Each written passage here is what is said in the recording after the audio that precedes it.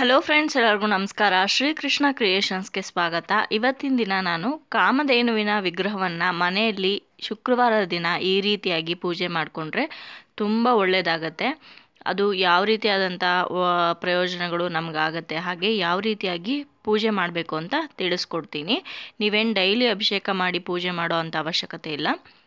ಪೌರ್ಣಮಿ ದಿನ ಅಥವಾ ಶುಕ್ರವಾರ ದಿನ ಈ ರೀತಿ ಅಭಿಷೇಕ ಮಾಡಿ ಪೂಜೆ ಮಾಡೋದ್ರಿಂದ ಒಳ್ಳೆ ಫಲಗಳು ಲಭಿಸುತ್ತೆ.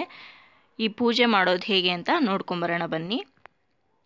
ಮೊದಲನೇದಾಗಿ ಒಂದು ಮಂಟಪ ಅಥವಾ ಒಂದು ಮಣೆ ಮೇಲೆ ನಾನು ರಂಗೋಲಿ ಹಾಕ್ಕೊಂಡು ಎರಡು ದೀಪಗಳನ್ನ ಹ ಇಟ್ಕೊಂಡಿದ್ದೀನಿ ಹಾಗೆ ಇವಾಗ ಒಂದು ತಟ್ಟೆಯಲ್ಲಿ ಕಾಮಧೇನುವಿನ ವಿಗ್ರಹವನ್ನು ಇಟ್ಕೊಂಡಿದ್ದೀನಿ ಇದು ಬೆಳ್ಳಿಯದ್ದಲ್ಲ, ವೈಟ್ ಮೆಟಲ್ದೆ. ನಿಮಗೆ ಎಲ್ಲ ಶಾಪ್ಸಲ್ಲಿ ಅಂದರೆ ಗ್ರಂಥಿಗೆ ಅಂಗಡಿಯಲ್ಲಿ ಅಥವಾ ಪೂಜಾ ಐಟಮ್ಸ್ ಸಿಕ್ಕತ್ತಲ್ಲ ದೀಪಗಳು ವಿಗ್ರಹಗಳು ಸಿಗುವಂಥ ಅಂಗಡಿಗಳಲ್ಲಿ ಅಥವಾ ನಿಮ್ಗೆ ಆನ್ಲೈನಲ್ಲಿ ಕೂಡ ಸಿಗುತ್ತೆ. ನೀವು ಬೇಕಿದ್ರೆ ತೊಗೋಬೋದು.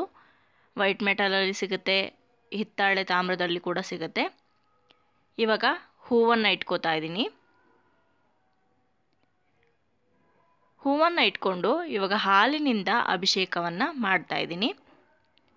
ಓಂ ಶ್ರೀ ಕಾಮಧೇನುವೇ ನಮಃ ಅಂತ ಹೇಳ್ಕೊಂಡು ಹಾಲಿನಿಂದ ಅಭಿಷೇಕ ಮಾಡೋದು ತುಂಬಾ ಒಳ್ಳೆಯದು ಹಸುವಿನಲ್ಲಿ ಮುಕ್ಕೋಟಿ ದೇವರುಗಳು ನೆಲೆಸಿರ್ತಾರೆ ಅನ್ನೋ ಒಂದು ನಂಬಿಕೆ ಇದೆ. ಹಾಗಾಗಿ ಹಸುವನ್ನು ನಾವು ದೇವಾನು ದೇವತೆಗಳಿಗೆ ಹೋಲಿಸಿ ಪೂಜೆ ಮಾಡ್ತೀವಿ.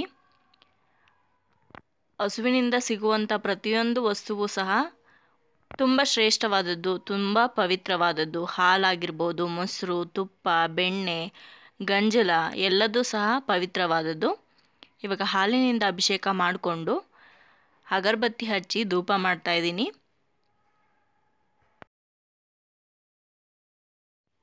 ಧೂಪ ಮಾಡಿದ ನಂತರ ಈ ವಿಗ್ರಹವನ್ನು ಎತ್ತಿಟ್ಕೊಂಡು ಹಾಲನ್ನು ಯಾವುದಾದ್ರೂ ಒಂದು ಗ್ಲಾಸ್ಗೆ ಹಾಕೊಳ್ಳಿ. ಆನಂತರ ಇವಾಗ ಮತ್ತೆ ನೀರಿನಿಂದ ಅಭಿಷೇಕ ಮಾಡಬೇಕು. ನೀರಿನಿಂದ ತೊಳಿಬೇಕು ವಿಗ್ರಹವನ್ನು.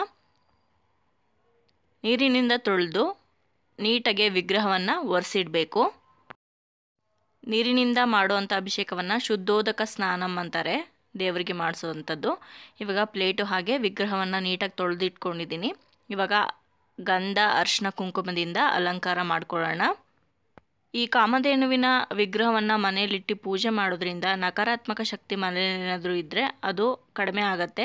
ಹಾಗೆ ಸಂತಾನ ಭಾಗ್ಯ ಇಲ್ಲದೆ ಇರೋರು ಈ ಕಾಮಧೇನುವಿನ ವಿಗ್ರಹವನ್ನು ಪ್ರತಿನಿತ್ಯ ಪೂಜೆ ಮಾಡೋದ್ರಿಂದ ಸಂತಾನ ಭಾಗ್ಯ ಬರುತ್ತೆ, ಅವರಿಗೆ ಲಭಿಸುತ್ತೆ. ಹಾಗೆ ನಿಮ್ಮ ಮನೆಯಲ್ಲಿ ಆರ್ಥಿಕವಾಗಿ ಸಮಸ್ಯೆ ಏನಾದರೂ ಇದ್ದರೆ ಸಾಲ ಬಾಧೆ ಕಾಡ್ತಾ ಇದ್ರೆ ಅದು ಕೂಡ ಕಡಿಮೆ ಆಗುತ್ತೆ. ಗಂಧ ಅರಿಶಿನ ಕುಂಕುಮದಿಂದ ಅಲಂಕಾರ ಮಾಡಿಕೊಂಡು ಇವಾಗ ಹೂವಿನಿಂದ ಅಲಂಕಾರ ಮಾಡ್ತಾ ಇದ್ದೀನಿ. ಹೂವನ್ನು ಮುಡಿಸಿದ ನಂತರ ಮತ್ತೆ ಧೂಪ ಮಾಡೋಣ. ಇವತ್ತು ಪೌರ್ಣಮಿ, ಇವತ್ತಿನ ದಿನ ಈ ರೀತಿ ಕಾಮಧೇನುವಿನ ಒಂದು ವಿಗ್ರಹನ ಪೂಜೆ ಮಾಡೋದ್ರಿಂದ ಅಖಂಡ ಪುಣ್ಯ ಪ್ರಾಪ್ತಿ ಆಗತ್ತೆ. ಇವಾಗ ಧೂಪ ಮಾಡಿದ ನಂತರ ತುಪ್ಪದ ಬತ್ತಿ ಹಚ್ಕೊಂಡು ಆರತಿ ಮಾಡ್ತಾ ಇದ್ದೀನಿ.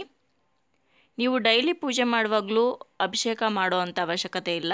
ಶುಕ್ರವಾರದ ದಿನ ನೀವು ಅಭಿ, ಹಾಲಿನಿಂದ ಅಭಿಷೇಕ ಮಾಡಿದ್ರೆ ಸಾಕು. ಪಂಚಾಮೃತ ಅಭಿಷೇಕ ಏನು ಬೇಕಾಗೋದಿಲ್ಲ. ಹಾಲಿನಿಂದ ಅಭಿಷೇಕ ಮಾಡಿ ಪೂಜೆ ಮಾಡ್ಕೋಬೋದು. ಶುಕ್ರವಾರ ಬೆಳಗ್ಗಿನ ಸಮಯದಲ್ಲಿ ಬ್ರಾಹ್ಮಿ ಮುಹೂರ್ತದಲ್ಲಿ ಮಾಡಿದ್ರೆ ಇನ್ನೂ ಒಳ್ಳೆಯದು. ಬೆಳಗ್ಗೆ ಅಷ್ಟೊತ್ತಿಗೆ ಆಗಲ್ಲ ಅನ್ನೋರು ಸಾಯಂಕಾಲ ಗೋಧೂಳಿ ಸಮಯದಲ್ಲಿ ಸಹ ನೀವು ಮಾಡ್ಕೋಬೋದು. ಪ್ರತಿನಿತ್ಯ ಪೂಜೆ ಮಾಡುವಾಗ ದೇವರಿಗೆ ಯಾವ ರೀತಿ ಪೂಜೆ ಮಾಡ್ತೀರೋ ಅದೇ ರೀತಿ ಅಗರಬತ್ತಿ ಹಚ್ಚಿ ಪೂಜೆ ಮಾಡ್ಕೊಳ್ಳಿ. ಶುಕ್ರವಾರದ ದಿನ ಮಾತ್ರ ಈ ರೀತಿ ಅಭಿಷೇಕ ಮಾಡಿ ನೀವು ಪೂಜೆ ಮಾಡೋದ್ರಿಂದ ತುಂಬ ಪುಣ್ಯ ಲಭಿಸುತ್ತೆ. ಇವತ್ತಿನ ಈ ವಿಡಿಯೋ ನಿಮ್ಮೆಲ್ಲರಿಗೂ ಇಷ್ಟ ಆಗಿದೆ ಅಂತ ಭಾವಿಸ್ತೀನಿ. ಇಷ್ಟ ಆಗಿದ್ರೆ ಲೈಕ್ ಮಾಡಿ, ಬೇರೆಯವ್ರಿಗೂ ಕೂಡ ಶೇರ್ ಮಾಡಿ, ನಿಮ್ಮ ಅನಿಸಿಕೆ ಅಭಿಪ್ರಾಯಗಳನ್ನ ಕಮೆಂಟ್ ಮೂಲಕ ಬರೆದು ತಿಳಿಸಿ. ನನ್ನ ಚಾನಲ್ನ ಸಬ್ಸ್ಕ್ರೈಬ್ ಆಗದೆ ನೋಡ್ತಾ ಇದ್ದರೆ ದಯವಿಟ್ಟು ಸಬ್ಸ್ಕ್ರೈಬ್ ಮಾಡ್ಕೊಳ್ಳಿ ಸಿಗೋಣ ಮತ್ತೊಂದು interesting ವಿಡಿಯೋದೊಂದಿಗೆ. Take care bye bye thank you for watching